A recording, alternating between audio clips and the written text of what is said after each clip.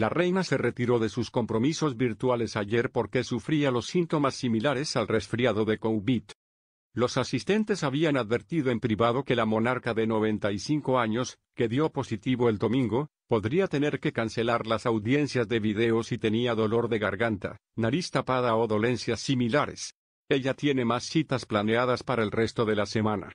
Un portavoz del palacio dijo, como Su Majestad todavía experimenta síntomas leves parecidos a los de un resfriado, ha decidido no emprender sus compromisos virtuales planeados hoy, pero continuará con tareas ligeras.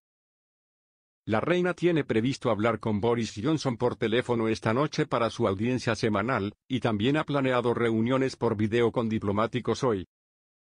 La reina, que cumplirá 96 años en abril, suele celebrar reuniones formales los martes, miércoles y jueves y tiene los demás días libres, aparte de su deber diario de revisar sus cajas rojas y hablar con el personal. Está previsto que ofrezca una gran recepción en el castillo de Windsor el 2 de marzo para cientos de empleados de embajadas extranjeras con sede en Londres.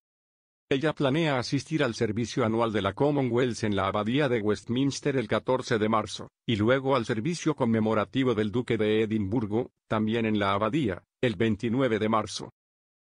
Los asistentes han enfatizado que la monarca, que se cree que recibió la triple vacuna, solo experimentó síntomas leves de COVID.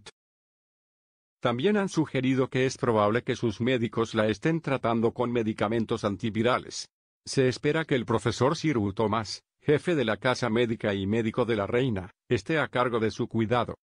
La reina, quien el 6 de febrero se convirtió en la primera soberana británica en reinar en 70 años, dio positivo por el virus después de un brote entre su personal en el castillo de Windsor. El príncipe Carlos también dio positivo el 10 de febrero.